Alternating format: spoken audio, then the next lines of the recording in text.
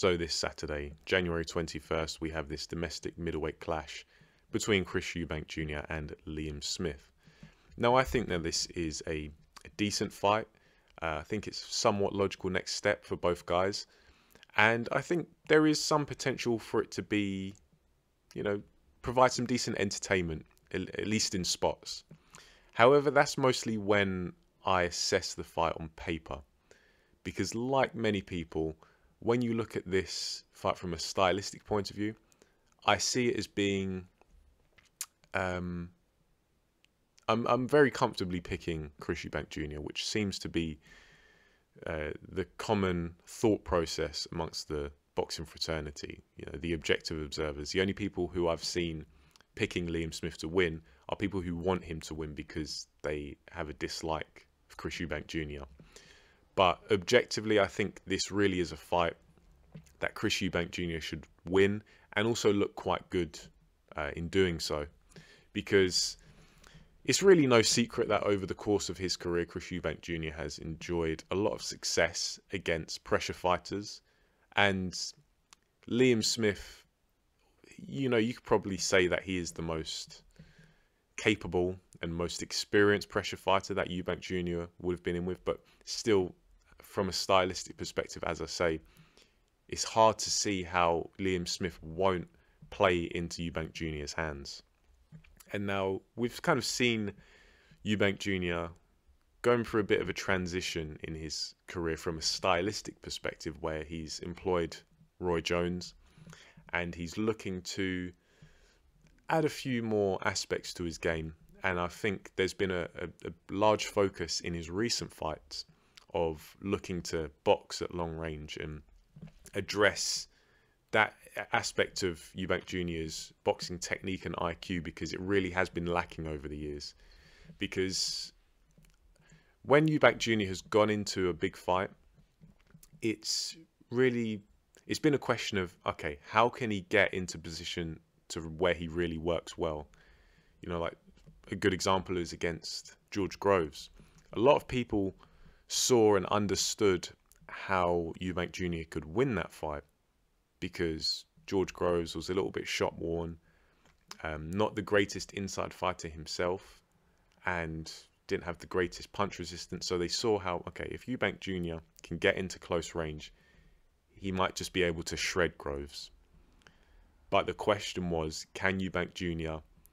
get past, get through that long range, that long range jab, that long range right hand, which are very powerful shots. Can he is he competent enough to do that? And ultimately, he wasn't. He wasn't able to do that effectively, and um, it really highlighted. Okay, Eubank Jr. great fighter up close on the inside, but at long range leaves a lot to be desired, and.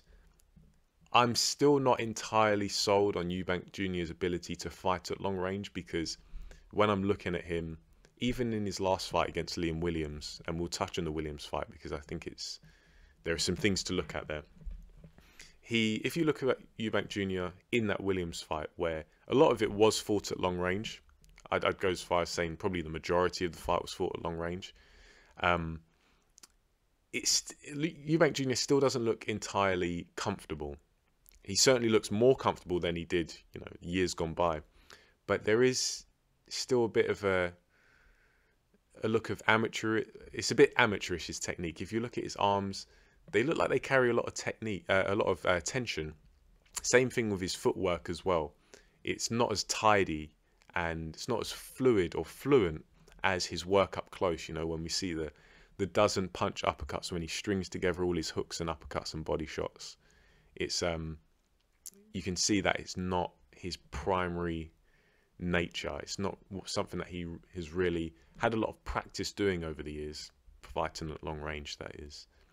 And Liam Williams, he, I feel, did a good job of uh, the way he approached that fight because it was really a, a long range fight, but he had a very active guard, did a good job of having a lot of dynamic elements where his feet were moving, his head was moving, his hands were moving, and it created a lot of ambiguity because he was providing Eubank Jr. with a lot of different looks. So it's hard for Eubank Jr. to kind of really just get a stranglehold on the fight because he's unsure of what uh, Liam Williams was going to do, and that's that's part of having an active guard is you use it to have different looks and keep your opponent guessing essentially.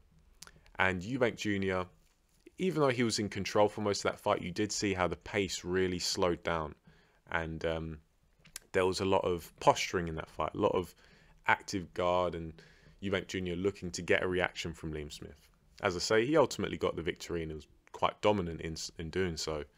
Um, but even though Liam Smith beat Liam Williams and proved that he was a superior fighter in that matchup, I still think that Williams stylistically presented more issues for Eubank Jr.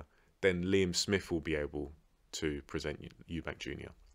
Because Liam Smith, quite a basic fighter, comes forward, high guards, um, quite consistent, so he does deserve credit for that. He's got very consistent guard and does use some very consistent pressure. He's a, excuse me, he's a fighter who does a good job of staying in front of an opponent and not expending very much energy. So he, um, you know, he's he's quite efficient in doing so, but he doesn't really do much else. There's not really much else you have to consider from Liam Liam Smith. He can do a, a decent job of counter punching and, and punching in between the punches of his opponent, but I'm not sure if that's going to be able to work against Chris Eubank Jr. Um, because I think even though Eubank Jr. isn't the greatest long range boxer, he is working on it, but it still leaves a bit to be desired. He is still going to be a bit more active than Liam Smith. Um, Liam Smith can really be quite a slow starter, and um, I think Eubank Jr. will will beat potentially beat Liam Smith at long range with activity. But then, even if it gets into a close range battle, uh, on the inside, up close. I still think Eubank Jr. is just going to enjoy so much more success than Liam Smith. So I, I can't really see how Liam Smith wins this fight. Um, as I say, Liam Smith does ha- he sometimes does decent job of punching in between the movements of his opponent, and Eubank Jr. his when he looks to disengage, he can be a little bit sloppy where he just pulls away from a shot. He pulls away from the engagement with his hands down, isn't really in position to to offend his opponent or defend himself. And so maybe Liam Smith can have some success there. I don't know if he presses forward and looks to advance onto Eubank Jr.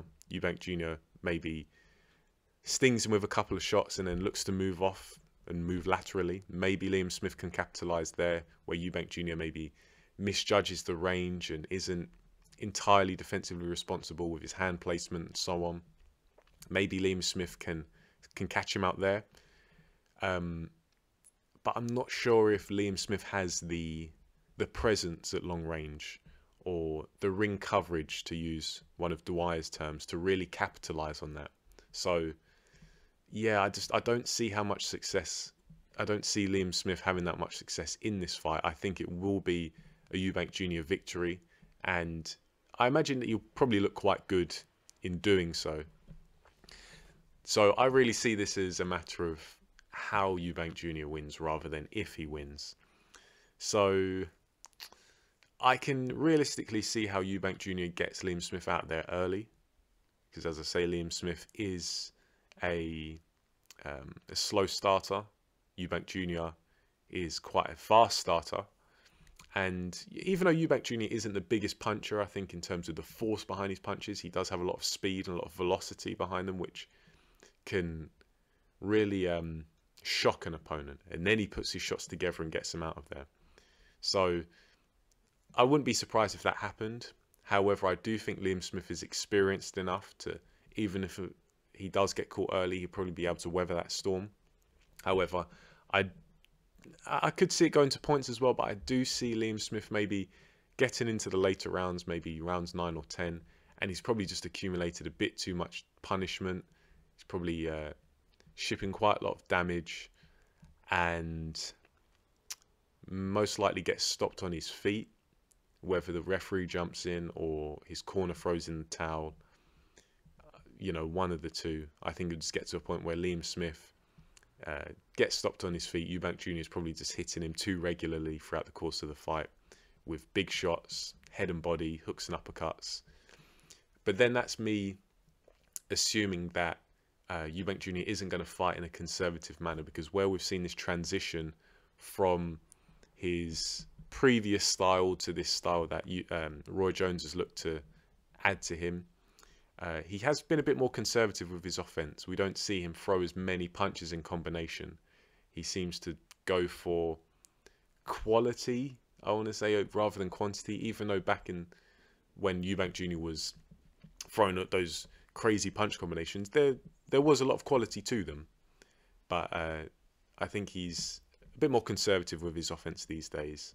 Um, however, I think you could say that there has been a degree of Eubank Jr. carrying his opponents in the past. Maybe he won't do that in uh, in this fight, but we'll see. But for the most part, I'm fairly confident that he's going to stop Liam Smith rounds nine or ten.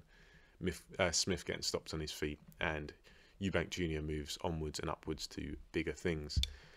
That is just my opinion, however. Let me know what you think in the comment section below.